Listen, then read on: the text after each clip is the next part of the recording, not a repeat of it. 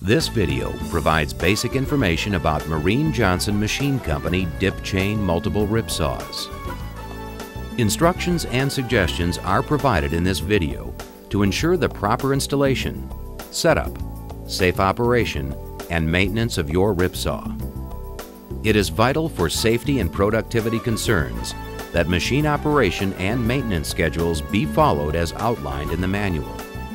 It is equally important that personnel operating and or performing service on the machine are thoroughly knowledgeable with the equipment and safe machine operation procedures. Mereen Johnson reserves the right to make changes and improvements incorporating them into machines as conditions warrant.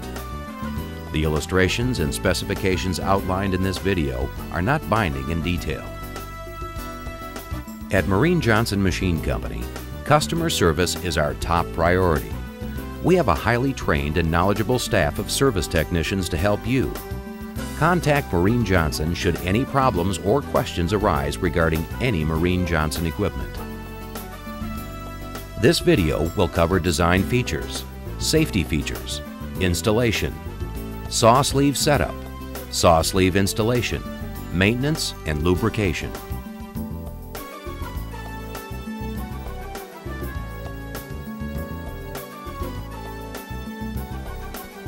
The dip chain series is the standard of the industry and is available in arbor width capacities from 12 inch to a full 40 inches. All Mereen Johnson dip chain multiple rip saws offer precision, high production, and glue joint accuracy. Mereen Johnson high efficiency arbor motors are engineered to deliver high performance under the most grueling, around the clock production schedules. Mereen Johnson arbors can accommodate saw blades from 10 to 14 inches in diameter. Arbors are direct drive up to 75 horsepower and belt driven up to 150 horsepower. On direct arbor drive models, the saw arbor shaft is an integral part of the motor. It is specifically designed to eliminate spindle end play and runout. The heavy cast iron motor housing and all other cast components are produced in Mereen Johnson's own foundry. Component manufacturing is performed on state-of-the-art CNC machining centers. The result is a saw arbor motor that will outperform, outlast, and provide a higher degree of precision over motors found on other rip saws. Mereen Johnson rip saws offer the widest arbor capacity of any dip chain gang rip saw. In addition, most models are designed with the left-hand side of the machine open. This will allow the operator to rip panels exceeding the width capacity of the arbor. Our non-marring friction feed bed is designed with extruded structural aluminum feed slats with replaceable steel-backed rubber inserts. The bed is carried by Mereen Johnson's exclusive double V precision feed chains that dip at the saw line. This allows for infinite saw spacing without the fear of the feed bed making contact with the saw blade arrangement. The feed bed can be operated at variable feed rates from 30 to 150 feet per minute. Special feed rates to 225 feet per minute are available. The overhead idle press roll arrangement, ahead and behind the saws, secure the material being ripped to the feed bed. A full-width spring-loaded bed plate provides additional hold-down pressure at the saw line to ensure straight cuts with glue joint accuracy. The control panel is mounted to the side of the machine for operator convenience and safety. A prepared saw sleeve can be changed in as little as 5 minutes or less minimizing downtime.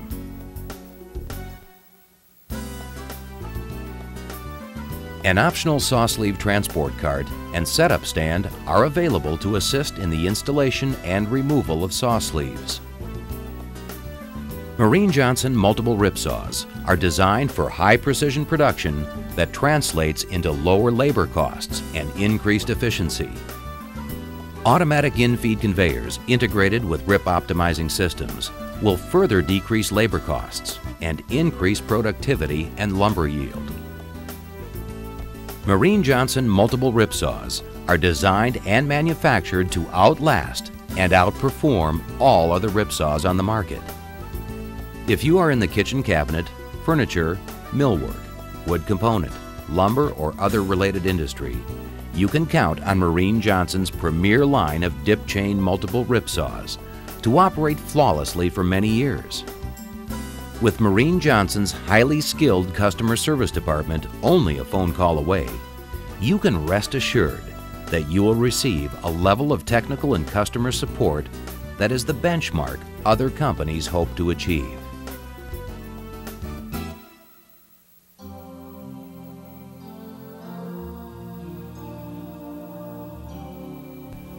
The starter cabinet door is equipped with an interlocking switch that prevents the door from being opened with the main power on.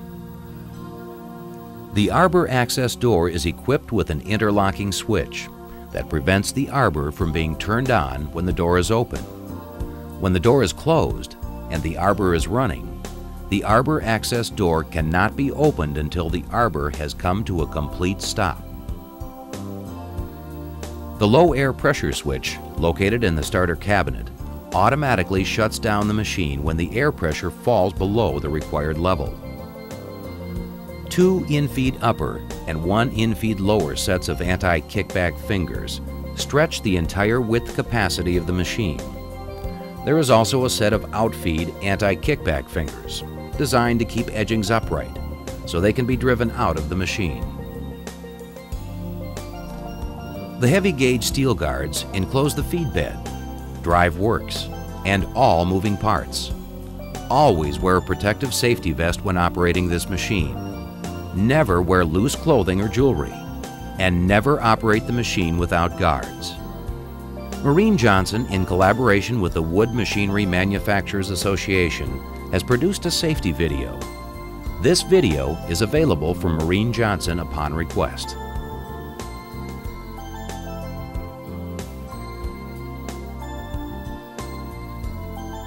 The installation process begins with a careful removal of the ripsaw from the truck. Due to the fact that these ripsaws are top-heavy, it is important to guard against tipping. It is recommended that a forklift with a minimum capacity of 10,000 pounds be used and the machine be picked up from the motor side. We recommend a minimum 6-inch reinforced concrete floor for proper machine operation. Once the saw is in location, mark the location of the anchor bolt holes on the concrete floor.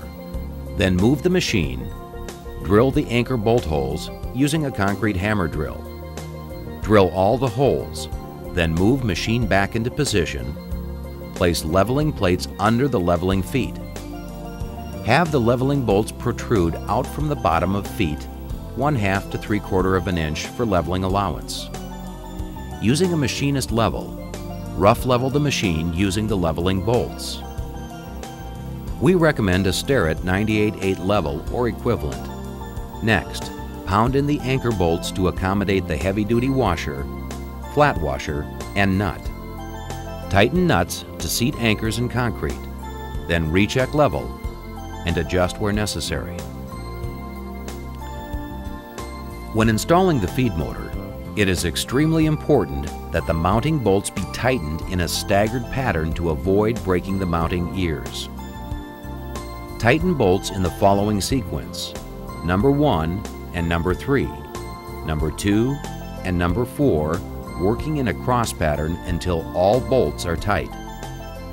The feed motor utilizes a spring-loaded friction disc assembly, so proper installation is essential. Consult your manual for additional information. Once the feed motor is mounted, using the machine's wiring diagram as a reference, reconnect the electrical conduit.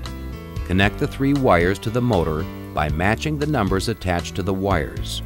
Check all electrical connections in the motor junction box for loose connections. A fused main disconnect must be provided by the user. Make certain that your main disconnect complies with local and national electrical codes. Your Mereen Johnson multiple rip saw requires only one electrical drop, one 3 quarter inch compressed air drop, and three dust collection drops. we recommend that you install a T in the compressed air line for blowdown purposes. When installing the dust collection drops, keep in mind that the large diameter main dust pickup point requires a flex or slip fit type joint as it raises and lowers approximately 5 inches with the press roll housing. The in-feed auxiliary dust hood and the lower feed bed pickup points can be pipe solid. Consult your manual for the proper duct sizes, air collection CFM, and velocity requirements for your model. Once the feed motor, electrical, air and dust collection points have been connected, the next several steps will prepare you for powering up the machine. Open the arbor access door. Release the arbor brake by pushing the mechanical override button on the air valve and check that the arbor rotates freely. If your machine is equipped with a slip-off end bearing assembly, as shown here, the assembly must be securely in place before starting the arbor. Never run the machine without the slip-off end bearing in place and tightened. The arbor nut must not be installed in the machine at this time. Temporarily, raise the outfeed upper anti-kickback fingers with a 2x4 piece of wood. In the event that the feed motor is phased backward upon initial power up, this piece of wood will prevent the anti-kickback fingers from damaging the feed bed. The oil mist nozzles are positioned up for transportation when leaving the factory and must be repositioned prior to startup. Open the access door on the side of the machine. Loosen the bolts on the bracket that holds the mist nozzle pipe Slowly rotate the pipe until the dimples align between the bracket and the pipe. This will align the mist nozzles to their proper location. Close and latch the arbor access door. Failure to securely close the door will not allow the arbor to start. At this time, turn the power on and turn the air pressure on to the machine.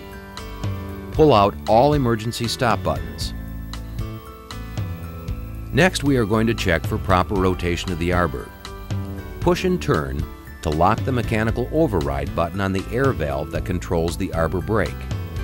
This will disengage the brake and let the arbor freewheel to a stop, allowing the operator to check rotation.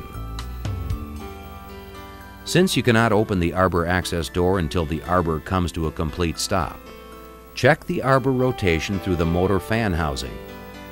Looking at the fan, the arbor should rotate in a clockwise rotation. If this is correct, start the arbor motor and check the feed bed for proper rotation. Quickly start stop feed motor and check rotation. If the arbor or feed bed is phased backwards, consult your manual for directions on rephasing the machine.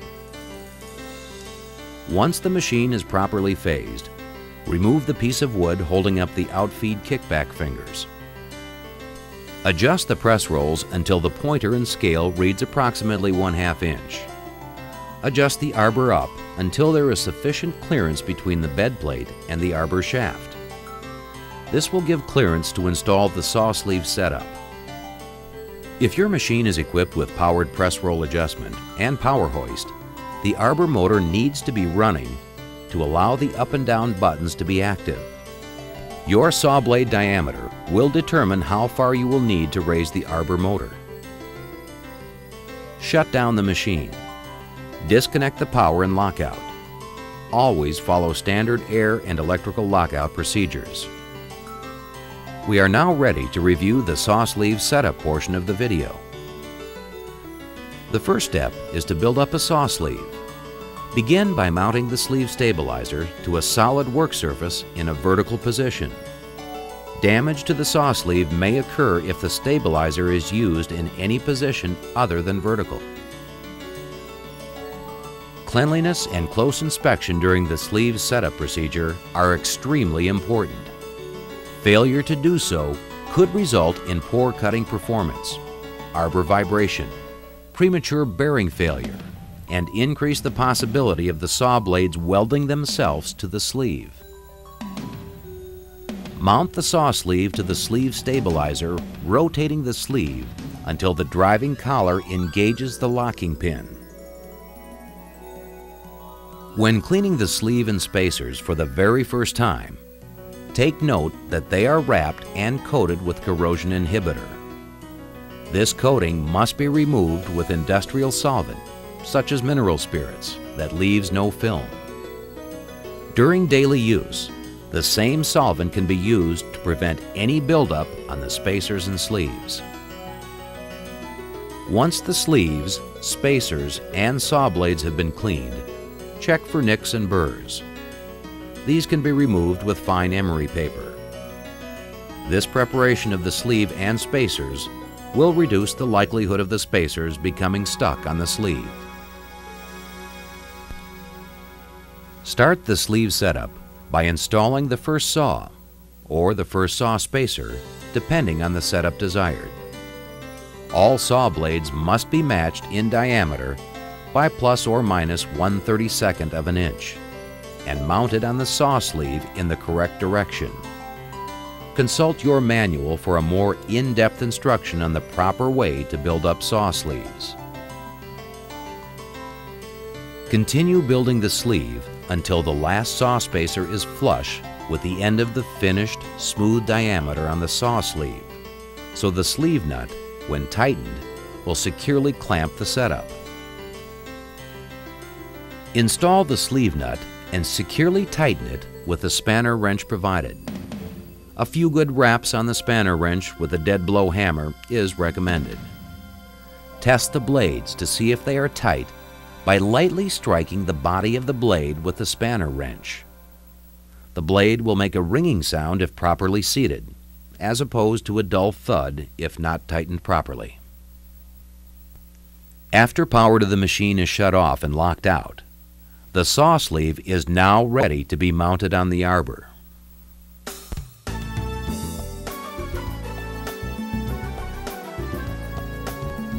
If your machine is equipped with an outboard bearing assembly, as in this video, begin by removing the assembly. First, engage arbor lock by pulling out on the spring-loaded pin. This will allow the fork-style lock to slide down and engage the slip-off bearing sleeve. Slowly rotate the arbor until the lock is in line with the sleeve. This will allow the arbor nut and outboard bearing sleeve clamp nut to be loosened. Once the arbor nut and clamp nut are loose, the outboard bearing mounting bolts can be loosened and the outboard bearing removed.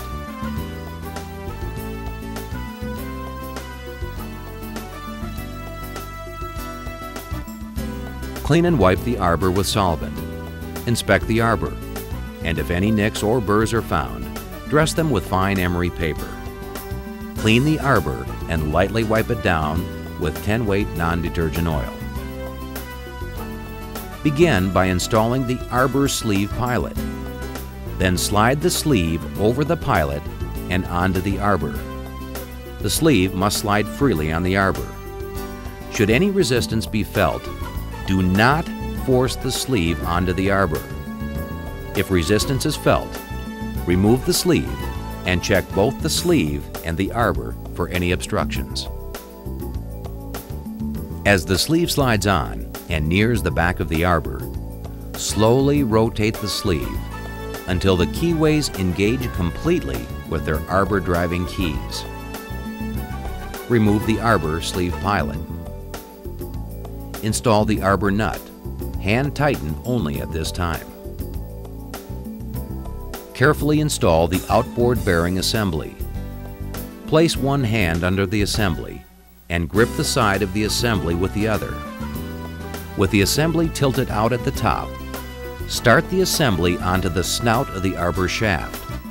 Slowly tilt the assembly to an upright position and push gently with the hand that is gripping the bottom of the assembly. Do not push at the top of the assembly. Carefully slide the outboard bearing assembly fully onto the arbor shaft or until the mounting bolts are just at the back of the slot, but are not influenced by the back of the slot when tightened. Tighten the two mounting bolts to secure the outboard bearing. Tighten the outboard bearing clamp nut with the wrench provided. Lastly, tighten the arbor nut. It is critical that this tightening sequence is maintained when installing the outboard bearing. First, tighten the mounting bolts. Second, clamp nut and third, tighten the arbor nut. Raise the arbor lock into its upper position.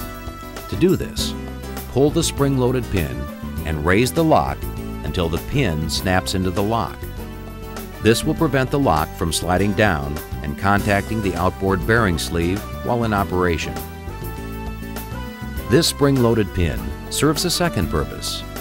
In order to lower the arbor lock, the operator must pull out on the spring-loaded pin, releasing the lock so it can slide down to hold the sleeve for tightening and loosening the arbor nut and the outboard bearing clamp nut. When this lock is slid down and holding the arbor shaft, the spring-loaded pin is designed to stick out sufficiently so the arbor access door cannot be closed, thus preventing the arbor access door interlock switch from being made, disabling the arbor. Install the bed plate segments and secure by bolting the tie bar in place. Generally, each sleeve setup has its own bed plate. This method keeps the saw cuts in the bed plate at a minimum and allows for the maximum hold down on the material being ripped. The machine comes with the multiple piece wooden bed plates or a one-piece phenolic is available as an option. To make sure the arbor rotates freely, temporarily defeat the arbor brake by pressing and holding down the manual air valve override button and rotate the saw arbor by hand. Close and latch the arbor access door. Start the arbor motor only. Do not start the feed motor until the arbor has been positioned properly. Start up your dust collection.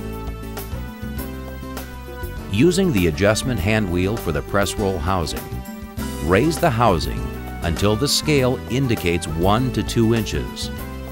This will allow the blades to start cutting through the upper wooden bed plate. Using the Arbor Adjust hand wheel, slowly lower and visually check the arbor position until the saw blades come within approximately 1 8th of an inch of the feed slats. Depending on the diameter of the saw blades, the physical downstop may engage before the arbor is in position. Readjust the jam nuts to allow for the needed travel for the arbor to be in position. Once the arbor is in position, tighten the jam nuts down to the tie bar. Remember, this setting is only good for the diameter of the saw blade currently being used. Do not have the feed bed running at this time. If the arbor is lowered too far, it will only cut into one rubber slat instead of all of them. Adjust the press roll assembly so that the scale is set to the thickness of the material that will be cut. Tighten the four arbor motor gib locks. Tighten the press roll housing lock. Start the feed motor and adjust the feed to the desired speed using the variable speed hand wheel located on the feed motor transmission assembly. The speed may be adjusted only with the feed motor running. You are now ready to run material. Mereen Johnson gang ripsaws require periodic preventative maintenance. Likewise, Mereen Johnson gang ripsaws are noted for their incredible durability in plants that carry out a conscientious preventative maintenance program. Your Machine Maintenance Manual is an excellent guide for a preventative maintenance program. Your gang ripsaw requires daily lubrication, cleaning, and inspection. It is recommended that daily cleaning and oiling the arbor shaft with each arbor change and blowing all of the sawdust off of the machine be performed with each 8-hour shift. Special attention must be made to cleaning the anti-kickback fingers to ensure that the fingers do not become compacted with sawdust. Anti-kickback fingers must swing freely to be effective. While cleaning the anti-kickback fingers, operators must inspect for worn, bent, or sticking fingers. and make corrections or repairs before operating the saw. Review the safety section in the manual for the recommended procedure for checking the anti-kickback fingers for wear. Using the enclosed cardboard test strip, hold the test strip flat against the table and insert under the first row of anti-kickback fingers. If you can pull the cardboard without puncturing the top layer of paper, your anti-kickback fingers are worn and need to be replaced. Do not oil the anti-kickback fingers. Operators must also complete a brief walk-around inspection of the machine prior to each operation to detect any obvious damage or defects in the machine. This can be done while the saw is being blown down, inside and out. Your Ripsaw's feed chains are lubricated by a mist lube oiling system.